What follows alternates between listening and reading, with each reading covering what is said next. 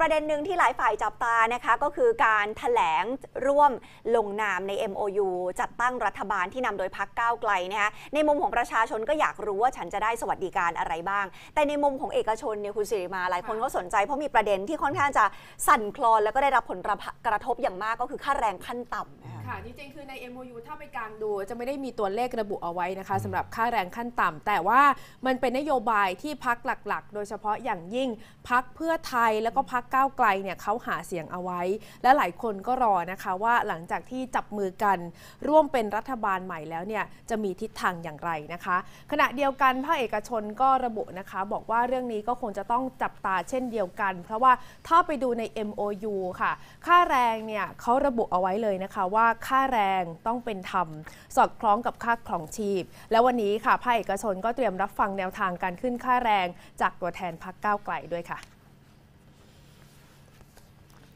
กลางดู MOU นะคะ คุณผู้ชมจะเห็นว่ามีประเด็นที่เกี่ยวข้องกับเศรษฐกิจอยู่หลายข้อค่ะ ไล่มาตั้งแต่ข้อ 8 ก็คือบอกว่าเดี๋ยวจะร่วมฟื้นฟูเศรษฐกิจยึดหลักเพิ่มรายได้ให้กับประชาชน ลดความเหลื่อมล้ำข้อ 9 ยกเครื่องกฎหมายเกี่ยวกับการทำมาหากินการดำรงชีวิตของประชาชน หนุน SME นะคะ ข้อ 10 ค่ะ ยกเลิกการผูกขาด แล้วก็ส่งเสริมการแข่งขันการค้าที่เป็นธรรมในทุกอุตสาหกรรม ข้อ 11 ปฏิรูปที่ดิน ข้อ 12 ค่ะคุณผู้ชม ปรับปรุงโครงสร้างการผลิตไฟฟ้า แล้วก็การคำนวณราคา และการกำลังการผลิตที่เหมาะสม เพื่อลดค่าครองชีพให้กับประชาชน ข้อ 13 ค่ะ จัดทำงบประมาณแบบใหม่ โดยเน้นการใช้วิธีการจัดทำงบประมาณฐานศูนย์ข้อ 14 สร้างระบบสวัสดิการดูแลประชาชน แล้วก็ข้ามไปเลยนะคะ จาก 14 ก็เป็นข้อ 17 ข้อ 17 ก็เกี่ยวเนื่องกับเศรษฐกิจค่ะคุณผู้ชม เป็นการส่งเสริมเกษตร แล้วก็ปศุสัตว์ปลอดภัย คุ้มครองและรักษาผลประโยชน์ของเกษตรกร ลดต้นทุนการผลิตนะคะ ข้อ 18 แก้ไขกฎหมายประมง ขจัดอุปสรรค เยียวยา แล้วก็ฟื้นฟูอาชีพนี้ให้ยั่งยืน แล้วก็ข้อ 19 ค่ะ ข้อนี้ที่เราพูดถึงกันค่าแรง ระบุเอาไว้แบบนี้นะคะว่ายกระดับสิทธิแรงงานทุกอาชีพ ให้มีสภาพการจ้างงานที่เป็นธรรม และได้รับค่าแรงที่เป็นธรรม สอดคล้องกับค่าครองชีพ และการเติบโตทางเศรษฐกิจค่ะ ข้อนี้ค่าแรงนะคะต้องติดตามค่ะ เพราะว่าคุณเกียงไกรเทียนนุกูลประธานสภาอุตสาหกรรมแห่งประเทศไทยบอกว่าตอนนี้ภาคเอกชนมีความกังวลเป็นอันดับแรกเลยนะคะ เพราะว่าก็มีการหาเสียงกันนะคะว่าจะขึ้นค่าแรงทันที 450 บาท เพราะที่ผ่านมาผู้ประกอบการเองก็เผชิญกับผลกระทบหลายด้าน นับตั้งแต่การระบาดของโควิด -19 เงินเฟ้อ ดอกเบี้ย ต้นทุนวัตถุดิบ จนมาถึงค่าไฟที่แพงขึ้น จนกระทบต่อต้นทุนการผลิตของผู้ประกอบการ คุณเกรียงไกรบอกนะคะว่าวันนี้สภาอุตสาหกรรมแห่งประเทศไทยจะพบกับตัวแทนพักก้าวไกล โดยจะมีการหารือแล้วก็รับฟังแนวทางการดำเนินนโยบาย การขึ้นค่าแรง 450 บาททันที ขณะเดียวกันพักเพื่อไทยเขาก็หาเสียงเหมือนกันนะคะ แล้วก็บอกว่าก็ยังคงมีเวลาปรับตัวแล้วก็หายใจ เพราะว่าเขาใช้เวลา 4 ปีในการทยอยปรับขึ้นค่าแรง นอกจากนี้ที่ผ่านมาภาคผู้ประกอบการที่ทำธุรกิจขนาดใหญ่ แล้วก็ใช้แรงงานที่มีศักยภาพสูง หรือมีความชำนาญเป็นพิเศษ ก็บอกว่ากลุ่มนี้เขาปรับขึ้นค่าแรงไปก่อนหน้านี้แล้วนะคะ ดังนั้นอยากจะเห็นนโยบายที่เป็นระยะยาว หรือสร้างศักยภาพยกระดับขีดความสามารถให้เพิ่มขึ้นค่ะ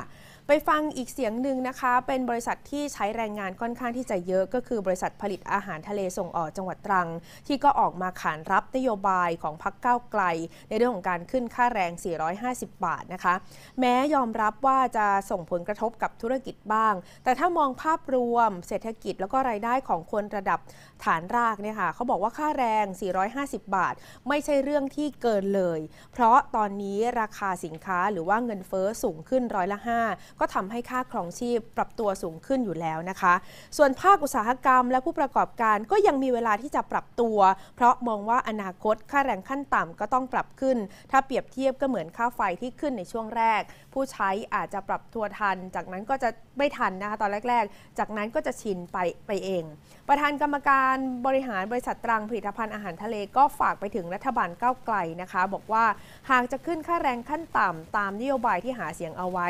ขอให้ค่อยๆ ปรับขึ้นนะคะ อยากขึ้นรวดเดียว เพราะกังวลว่าผู้ประกอบการอาจจะปรับตัวไม่ทันค่ะ โดยส่วนตัวผมผมเห็นด้วยนะ